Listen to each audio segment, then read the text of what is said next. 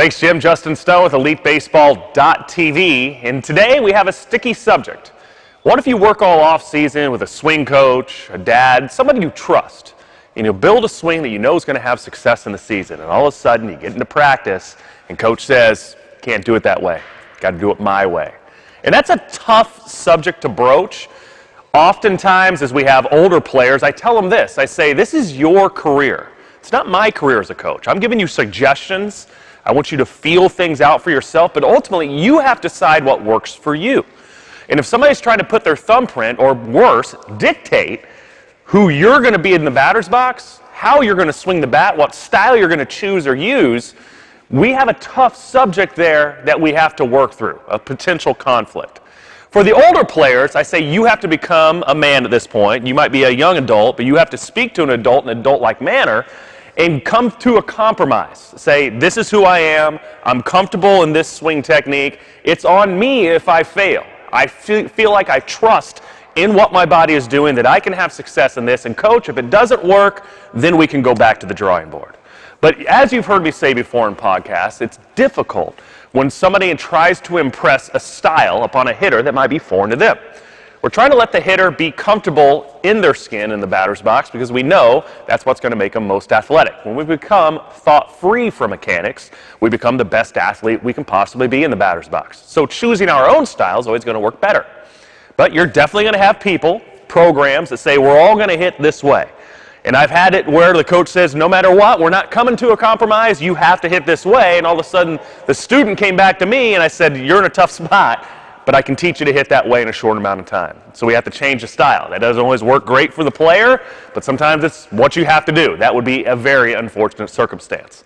But for the youth player, what if we spend a lot of time with an outside professional that you've put money and trust in, you feel like it's going well, and then you're going to maybe a volunteer coach, a, a travel ball dad, and you have the same thing. It says you can't hit that way. And maybe you know you're getting bad advice and bad information.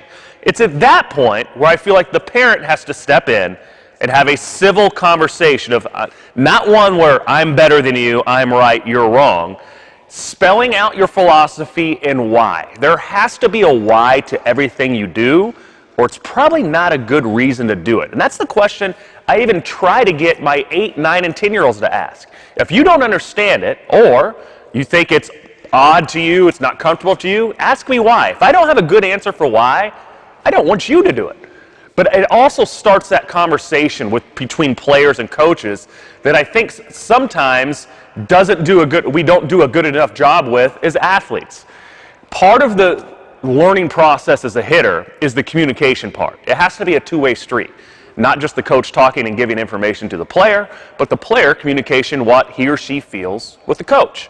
And asking questions, even if that question is, why, coach, should I be doing this? Or what should I be feeling? Or what is the purpose of this drill?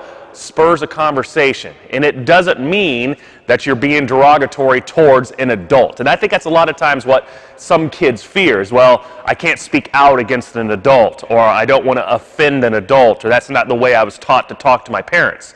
And we're not saying we're, we're doing this in an untactful way. We're saying be tactful, ask them properly what we're trying to get out of this, what I should be feeling, and again, that's going to spur a conversation. So we have this happen every year. I'm not using or citing a specific example. I've had this happen a number of times over a long period of time, but at this point of the year, I know there's listeners out there that this is happening to you right now, and that is my best advice on how to broach the subject. Until next time, this is Justin Stone from EliteBaseball.tv. I'll be in warmer climates and, uh, climates and out of Chicago next time I talk to you working in spring training. And then maybe I'll give you some tidbits on what I learned there before I come back and start coaching my T-ball team the next week. So I'm going from both ends of the spectrum. I'm excited to bring you some of that information. Till next time, we'll see you on the field.